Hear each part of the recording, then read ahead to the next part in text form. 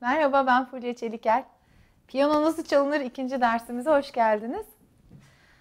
En son kaldığımız yer şurasıydı. İki siyahlara ve üç siyahlara bakarak yerimizi bulmuştuk. Peki bundan sonra ne geliyor? Öncelikle vücudumuzu nasıl kullanmamız gerektiği geliyor. Bunun için e, hemen hemen her şeyde olduğu gibi postür dediğimiz vücut pozisyonu e, her şeyden önemli. Enstrüman çalmak uzun ve tekrarlanan hareketlerden oluşan bir süreç olduğu için doğru oturmak, vücudumuzu doğru kullanmak hem devamı açısından hem de tekniğimizin iyi gelişmesi açısından çok önemli. Bunun için her şeyden önce nasıl oturuyoruz onu göstermek isterim. Enstrümanın ortasında kalmalıyız. Ne çok fazla solda ne çok fazla sağda. Çünkü ilk derste de bahsettiğim gibi en iyi duyduğumuz sesler enstrümanın orta bölgesindeki sesler. Dolayısıyla çalmaya da oradan başlamak en kolayı. Enstrümanın tam ortasındaki do sesine orta do diyoruz. Ve aslında çoğu klasik piyano metodu iki eli de orta do'ya koyarak başlar. Öncelikle ellerimiz malum parmakları hep birbirinden farklı görünür şekilde yani birbiriyle aynı görünen tuşları birbirinden farklı parmaklarla ve aynı genlikte, aynı oranda ses çıkararak çalmamız gerekiyor. Bunun için de işte vücut ağırlığımızı çok iyi şekilde kullanmamız lazım.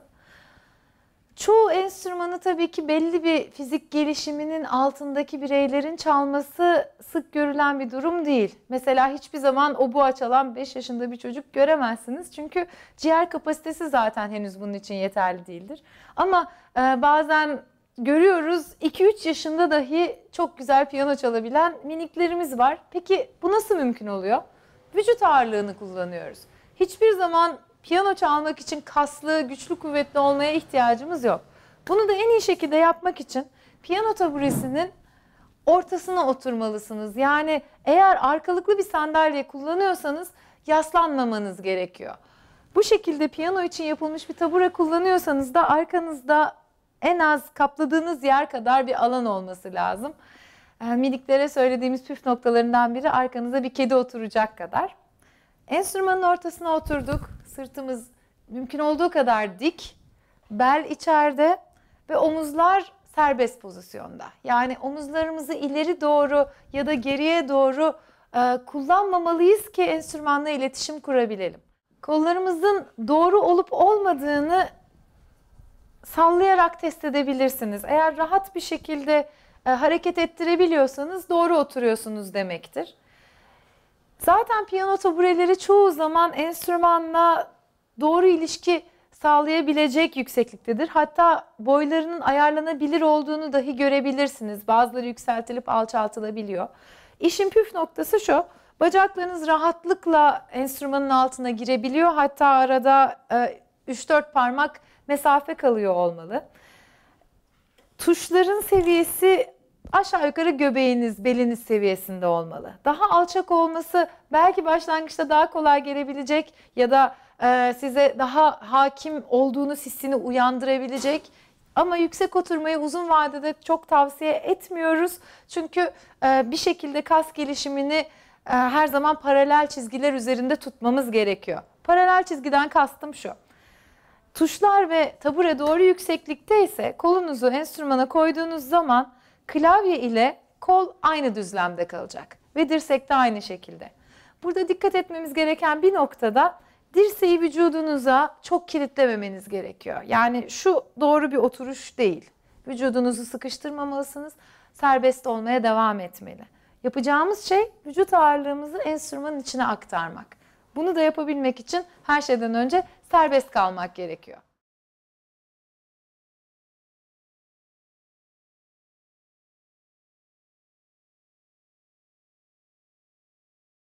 Bu şekilde vücut ağırlığının doğru e, e, olarak aktarıldığından emin olduktan sonra yapacağımız şey bütün elimizi kullanmak.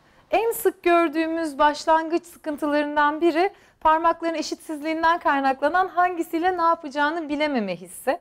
Vücudumuzu doğru şekilde yerleştirdikten sonra elleri doğru şekilde yerleştirmek lazım. Bunun için de yine vücudumuzdan ölçü alacağız. Hepimizin elinin şekli farklı, yapısı farklı. Ee, ve dolayısıyla da e, enstrümanın üzerinde duruşu milimetrik farklar gösterecek. Bunun için yapılacak en güzel şey hepimiz deneyebiliriz bunu. Dizinizi yakalayın. Diz ekleminin yuvarlaklığını hissedin. Bütün avucunuzla tutun. Avucunuz dizinize tamamen temas edecek şekilde. Sonra hiç bozmadan getirin onu ve piyanonun üzerine koyun.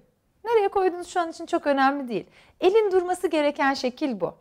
Bizim el çatısı dediğimiz şey bu kemiklerin dışarı çıkmış olması.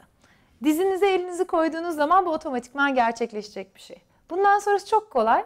Tek yapmanız gereken vücut ağırlığınızı kolunuz bir kablo olarak kullanıp ileterek enstrümanın içine bırakmak.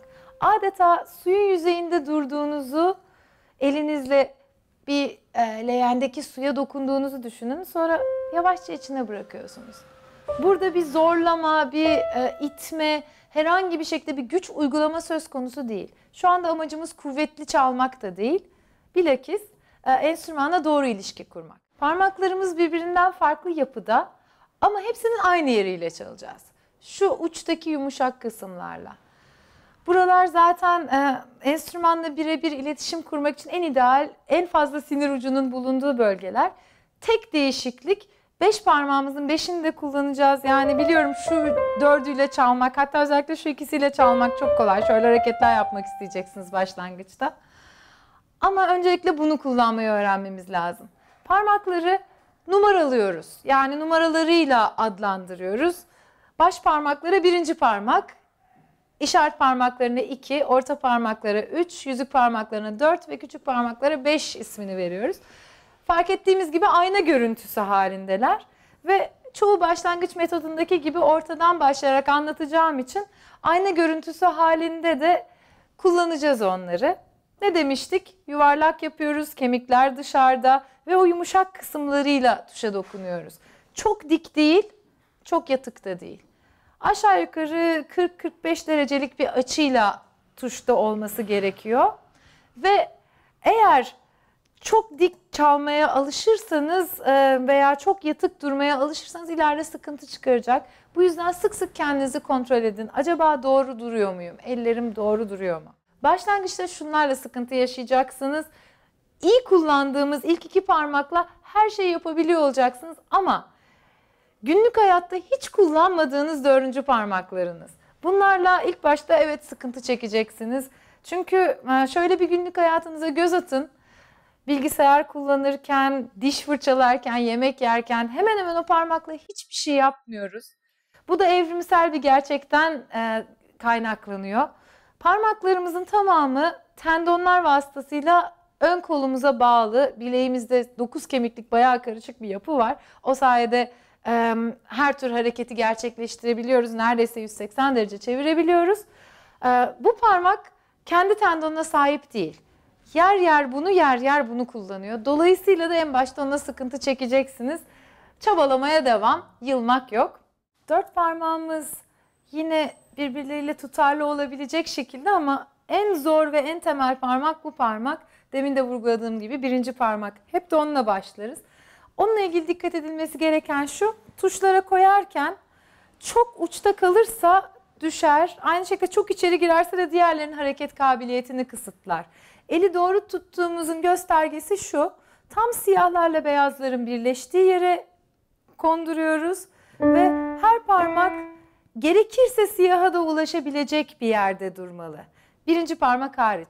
Onu pek siyahlara çıkarmayı tercih etmeyeceğiz. Belki bütün eli taşıdığımız zaman ayrı. Ama şu anda başlangıçta birinci parmağın şu son ekleminin tuşlarda durduğunu bilmek yeterli. Sol elimizle de sağ elimizle de dediğim gibi ilk önce ayrı ayrı tuşları hissetmeye, ses çıkarmaya çalışınız.